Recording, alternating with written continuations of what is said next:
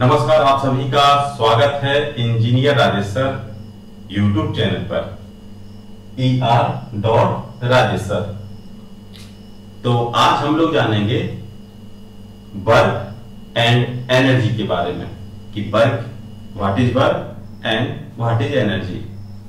तो आज हम लोग दो टॉपिक के बारे में डिस्कशन करें, करेंगे। तो सबसे पहले जो टॉपिक आएगा वो आएगा आपका वर्क वर्क जिसे कहते हैं, हिंदी में क्या कहते हैं हम लोग? कार्य वर्क को कहते हैं कार्य क्या कहलाता है कार्य इसको क्या करेंगे? सरल भाषा में समझेंगे। डेफिनेशन क्या बनाएँगे? कि यदि किसी पिंड पर, ठीक है? या फिर आप शॉर्ट में और लिखना चाहें तो किसी पिंड पर किसी पिंड पर बल लगाया जाता है।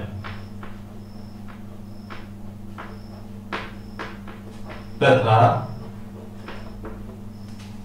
बल की दिशा में बल की दिशा में हुए विस्थापन। आपने क्या किया? बल लगाया और बल लगाने पर क्या हुआ कि जो वस्तु है, वो कुछ ना कुछ खिसकी, विस्थापन हुआ। विस्थापन के गुणनफल को कार्य कहते हैं। कार्य कहते हैं। ठीक है। मतलब आपने क्या किया? एक वस्तु रखी हुई है और यदि आप उस वस्तु पर बल लगाते हैं और बल की दिशा में वो वस्तु खिसक जाती है, खिसकने मतलब विस्थापन हो जाता है डिस्प्लेसमेंट हो जाता है तो जो विस्थापन होगा, जो जितनी दूरी खिसकी वो और बल, दोनों का यदि हम गुणनफल करें दोनों को हम क्या करें? गुणा कर दें तो जो वैल्यू आएगी वो हमारी कार्य के रूप में आ जाएगी। कैसे? मान लीजिए कि यहाँ पर एक पिंड रखा हुआ है। ठीक है? अब हमने क्या किया? इसमें एक फोर्स लगाया, धक्का लगाया। फोर्स क्या है? बल। एफ़ बल को किससे मेजर करते हैं बल को न्यूटन से। अब क्या है कि पे बल लगाया तो बल लगाने पर यह वस्तु क्या हुई? यहाँ पर आ गई। मतलब पहले ये ए पोजीशन पर थी और बल लगाने पर ये आ गई बी पोजीशन पर। तो ये कुछ ना कुछ दूरी पर खिसकी डिस्प्लेसमेंट होगा तो डिस्प्लेसमेंट को हम लोग दर्शाएँगे दूरी को एक्स की फॉर्म में। तो ये आ गया आपका एक्स तो क्या होगा कि बल लगाया।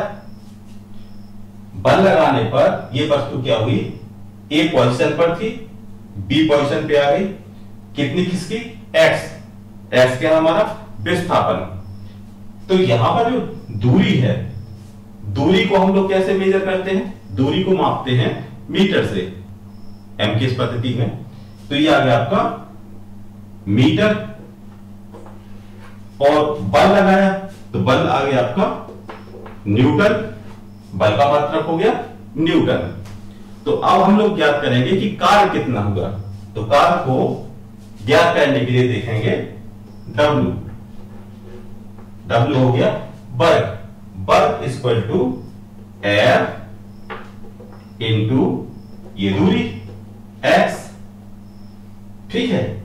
तो ये आ गया वर्क और यदि इसके मात्रक की बात करें कि कार्य का या वर्क का यूनिट क्या होगा तो यूनिट क्या आया फोर्स हमारा न्यूटन है। और ये आ गया आपका दूरी है मीटर तो ये आ जाएगा न्यूटन मीटर ओके तो ये हो गया वर्ग ठीक है? तो डेफिनेशन के लिए क्या कहेंगे? कि यदि किसी पिंड पर बल लगाया जाता है और बल लगाने पर वो वस्तु बल की दिशा में विस्थापित होती है तो बल और विस्थापन के गुणनफल गुणनफल को कार्य कहते हैं, जिसका मात्रक होता है न्यूटन मीटर। न्यूटन क्या है? न्यूटन बल का मात्रक है, और जो विस्थापन होगा उस दूरी में पिंड खिसका तो दूरी को हम लोग नापते हैं मीटर से। तो इसका जो मात्रक हो गया, वो गया न्यूटन मीटर। तो ये है कि कार क्या है कि बल की दिशा में विस्थापन होना चाहिए। तो अब यहाँ पर बात ये बन के, बन जाती है कि मान लीजिए यदि कोई कुली है, स्टेशन पर सामान लेकर 50 किलो का वज़न लेकर खड़ा हुआ है और उसको पसीना आ रहा है तो इसका मतलब यह होगा कि साइंस की भाषा में उसका कार्य हो गया ज़ीरो, क्योंकि वो फोर्स तो लिए है, बल तो लिए है, लेकिन उसके बल की दिशा में कोई विस्थापन नहीं हो रहा है। तो यदि बल की दिशा में विस्थापन नहीं हो रहा तो बल हमारा हो गया ज़ीरो। और यदि हमने एक्स की मल्टीप्लाई किया एफ़ से तो जब हमारा विस्थापन ज़ीरो है तो ज़ीरो को यदि हमने बल से गुणनफल किया तो टोटल वैल्यू होगी हमारी ज़ीरो। तो इसका मतलब क्या होगा कि विस्थापन होना कंपलसरी है। तो आप समझ गए? कार क्या कहलाता है? अब हम जानेंगे ऊर्जा। ऊर्जा किसे कहते हैं? और ऊर्जा कितने प्रकार की होती है? तो ये इसको चाहे तो आप नोट कर सकते हैं, या फिर वीडियो को सेव कर लीजिएगा, और जब एग्ज़ाम आएगा तो आप उसको उस समय आप देख सकते हैं। तो ये हमारा हो गया वर्ग अब नेक्स्ट टॉपिक रहेगा हमारा ऊर्जा। ऊर्जा क्या होती है? ऊर्जा किसी भी काम करने की एक क्षमता होती है एनर्जी यदि हमें आ, कोई भी वर्क करना है किसी भी मनुष्य को वर्क करना है तो उसके लिए उसको क्या चाहिए? ऊर्जा। और ऊर्जा उसको कहाँ से मिलती है? खाना खाने से। यदि हम बात करें कोई आ, मशीन है और मशीन को चलाना है तो उसको ऊर्जा हम कहाँ से देंगे? यदि वो इलेक्ट्रिकली रूप से मशीन चल रही तो हम उसको इलेक्ट्रिकल एनर्जी देते हैं। और यदि वो मैकेनिकल रूप से वर्क कर रही है तो हम उसको मैकेनिकल एनर्जी देते हैं। तो ऊर्जा क्या है? ऊर्जा किसी निकाय का वह गुण है। ठीक है? ऊर्जा किसी भी सिस्टम का वह गुण है, जिसमें कार्य के कार्य को करने की क्षमता उत्पन्न की जाती है। ठीक है? एनर्जी एनर्जी ऊर्जा. ठीक है? तो क्या है ऊर्जा? ऊर्जा किसी भी निकाय का, निकाय सिस्टम ऊर्जा किसी भी निकाय। निकाय मीन सिस्टम निकाय का वह गुण है। कौन सा गुण है? जो ठीक है। जो किसी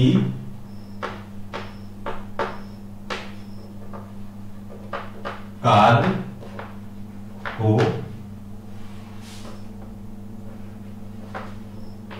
करने की क्षमता रखता है। ठीक है, ये हो गया एनर्जी। मतलब हम क्या करेंगे, कोई भी कार्य करना है तो हम एनर्जी का इस्तेमाल करेंगे। ऊर्जा की गणना सीधे रूप पर नहीं की जा सकती। यदि हम एनर्जी को मेज़रमेंट करना चाहें तो डायरेक्ट हम एनर्जी को मेजर नहीं कर सकते हैं। यह एक आदिश राशि है। ये क्या है? स्केलर क्वांटिटी है अदिश राशि है। और इसको यदि ऊर्जा को मेजर करना है तो इसका जो मात्रक है, वो है जूल। तो ऊर्जा को हम कैसे ना मापते हैं? जूल में। तो ये होता है, इसका जो यूनिट है, वो हो गई है जूल। ठीक है? ऊर्जा का जो मात्रक हो गया, वो हो गया आपका जूल। आप बात करते हैं कि ऊर्जा कितने प्रकार की होती है। तो मेनली मतलब मुख्य रूप से एनर्जी तीन टाइप की होती है। ठीक है? कौन कौन सी? एनर्जी टी टाइप की है। नंबर फ़र्स्ट है आपकी इसको कहते हैं? स्थैतिक स्थैतिक ऊर्जा, जैसे आपके पोटेंशियल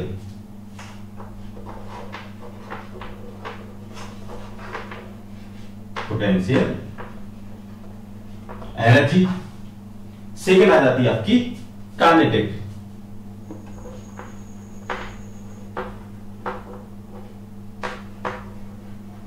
एनर्जी और थर्ड रहती है आपकी इंटरनल एनर्जी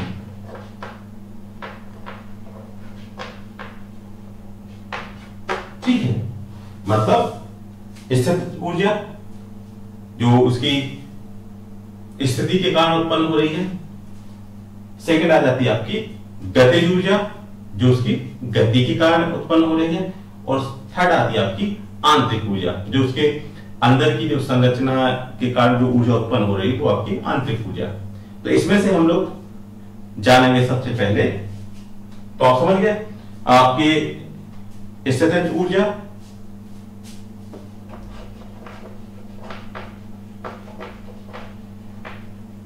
और गतिज ऊर्जा। और यह आपका आंतरिक। ठीक है? तो सबसे पहले जानेंगे स्थिर ऊर्जा क्या होती है। ठीक है? जिसको कहते हैं पोटेंशियल एनर्जी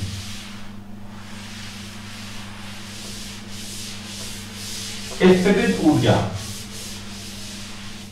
मतलब जो कोई भी पिंड यदि कहीं पर ब्राह्म अवस्था में है ब्राह्म अवस्था में तो उस, उसके अंदर कोई ना कोई ऊर्जा तो है ही।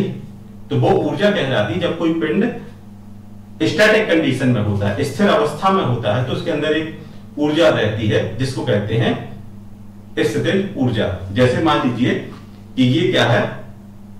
ये पिंड है जो रुका हुआ है। तो इसका मतलब इसमें जो ऊर्जा है, वो स्थिर रूप में इकट्ठी है।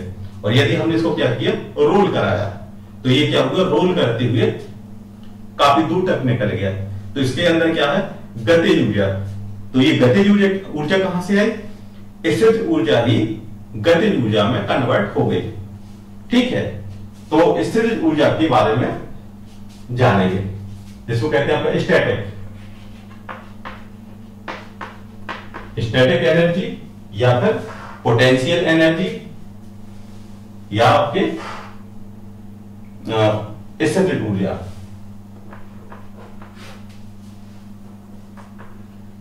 किसी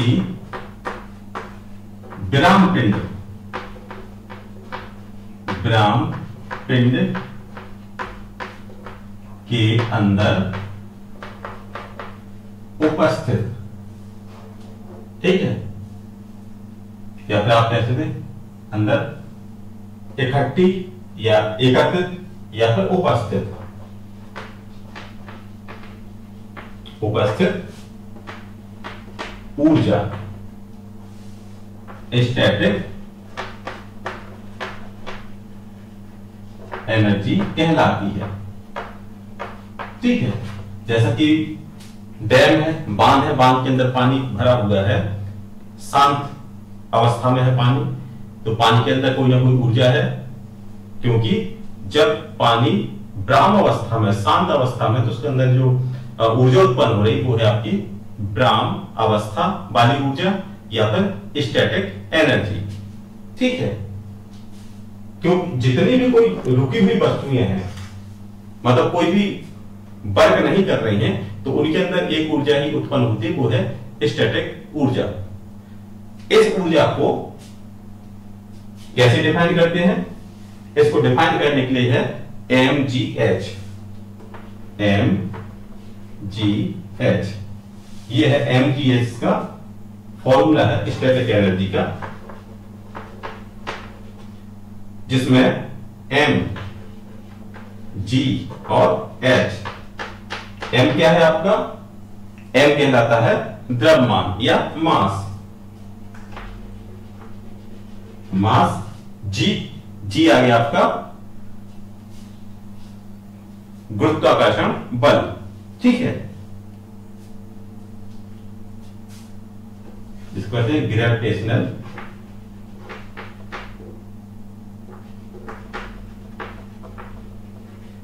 फोर्स ग्रेविटेशनल फोर्स और एच क्या हो गई एच हो गया इसका ऊंचाई सिस्टम की height H I G H height ठीक है, कहाँ से? सिस्टम से।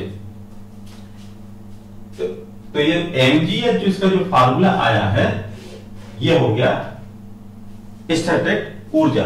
यदि इसकी मात्रक की बात करें तो इसका मात्रक होता है न्यूटन मीटर। ठीक है?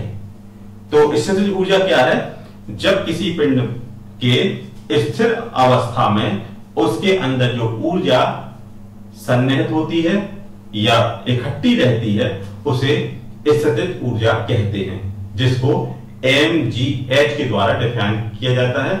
एम द्रव्यमान जी गुरुत्वाकर्षण बल और जी है निकाय की हाइट जिसका मात्रक होता है न्यूटन मीटर। अब जानेंगे स्टैटिक तो हो गया, जब पिंड रुकी हुई अवस्था में था। अब आ गया, जब पिंड गतिमान अवस्था में है। ठीक है। जब पिंड गतिमान अवस्था में है तो उसके अंदर भी कोई ना कोई एनर्जी है, जिसको कहते काइनेमेटिक एनर्जी क्या है? किसी पिंड की गतिमान अवस्था में किसी पिंड की गतिमान अवस्था में में उपस्थित उपस्थित ऊर्जा या एनर्जी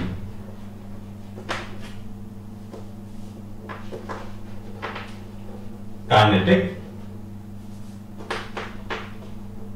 एनर्जी कहलाती है।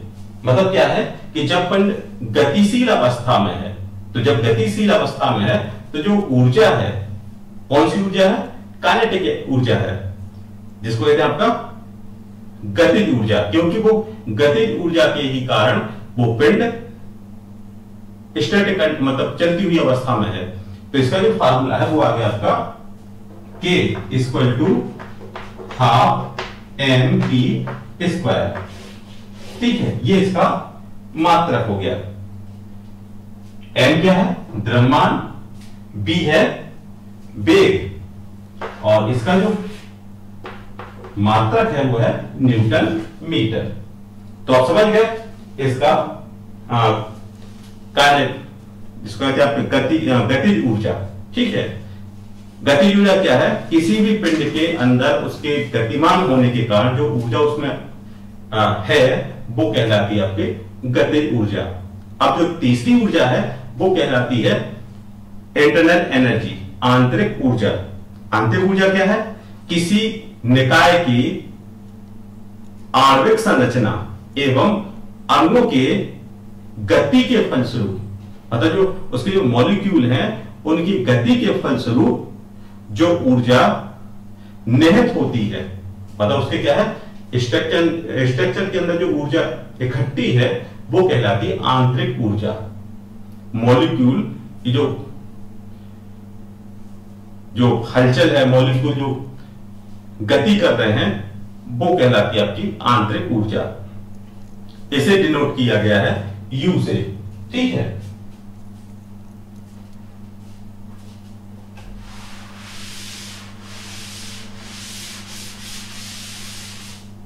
इंटरनल एनर्जी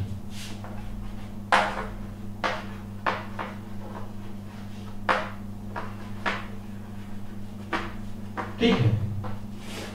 आंतरिक ऊर्जा। इसमें आता है आपका जो उसका स्ट्रक्चर है, जो मॉलिक्यूल का स्ट्रक्चर है, और मॉलिक्यूल की गति। मतलब जो स्ट्रक्चर और गति का जो अब सम है मतलब जिसमें आपके अब स्ट्रक्चर की ऊर्जा और गतिशील मॉलिक्यूल की जो गति की जो ऊर्जा है, वो कहलाती है आंतरिक ऊर्जा। इसे U U के द्वारा प्रदर्शित किया जाता है। तो इसमें क्या है? निकाय की सिस्टम सिस्टम की आणविक संरचना। तथा अणुओं के की गति। ठीक है? गति में निहित ऊर्जा इंटरनल एनर्जी कहलाती है। मतलब इसमें क्या है? दो चीज़ें आ गई, जिसका जो स्ट्रक्चर है। स्ट्रक्चर के अंदर जो ऊर्जा इकट्ठी है और जो उसके अणुओं के बीच में जो गति हो रही है, इन दोनों का जो सम है, वही हमारा इंटरनल एनर्जी कहलाता है, जिसको हम U U द्वारा डिफाइन किया जाता है। ठीक है? तो इसका जो फॉर्मूला आ जाता है, वो आपका आता है D U D U D U M C D D D ठीक है? अब क्या है? एम क्या है यहाँ पर? द्रव्यमान। ठीक है? जो शुरुआत से जो चल चला आ रहा है वो आपका द्रव्यमान एम मास सीबी और डी टी सीबी यहाँ पर है। विशिष्ट स्थिर आयतन। ठीक है?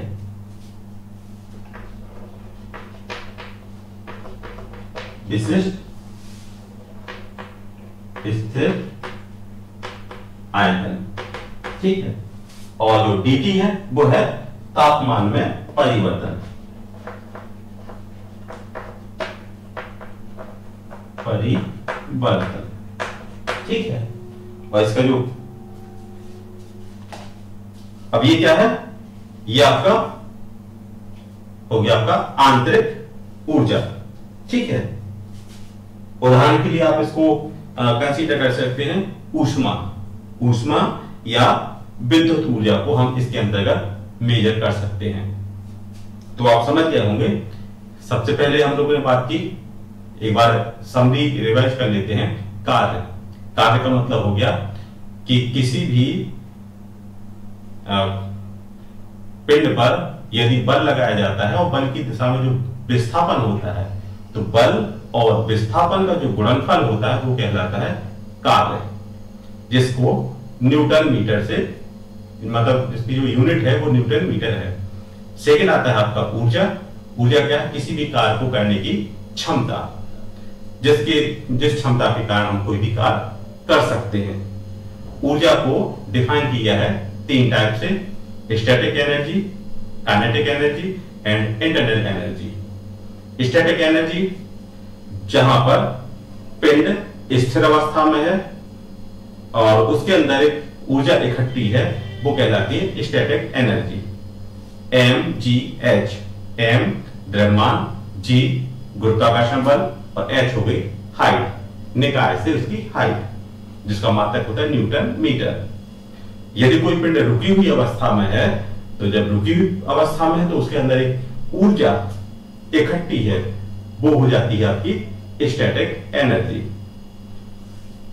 यदि बात करें गतिज ऊर्जा की तो यदि कोई पिंड गतिशील है, अवस्था में है मतलब चल रहा है या लुढ़क रहा है, या मूवमेंट कर रहा है तो वो उसके अंदर जो ऊर्जा है, वही तो उसको गतिशील बनाई जा रही है। इसलिए उसको कह दिया गतिज ऊर्जा। गतिज ऊर्जा को हाफ़ एम डी स्क्वायर द्वारा डिफाइन किया जाता है। तो आपका जो एम है एम डी स्क्वायर एम द्रव्यमान बी हो गया वेग। तो आपका द्रव्यमान इंटू वेग का दुगना, यदि आप इंटू हाफ़ इससे आपका ऊर्जा आएगी और इसका जो मात्रक है वो न्यूटन मीटर। इंटरनेट एनर्जी होती है मॉलिक्यूल की संरचना तथा उन मॉलिक्यूल की गति के अंदर जो ऊर्जा इकट्ठी है, वो आपकी इंटरनल एनर्जी कहलाती है। तो आशा करते हैं कि आप ये दो टॉपिक आसान और सरल भाषा में समझ गए होंगे। और यदि आप चैनल पर पहली बार आए हैं तो लाइक कीजिएगा सब्सक्राइब कीजिएगा और शेयर कीजिएगा। और यदि आप पहले से सब्सक्राइब हैं तो लाइक और शेयर कीजिएगा। तो मिलते हैं नेक्स्ट वीडियो में, तब तक के लिए थैंक यू धन्यवाद।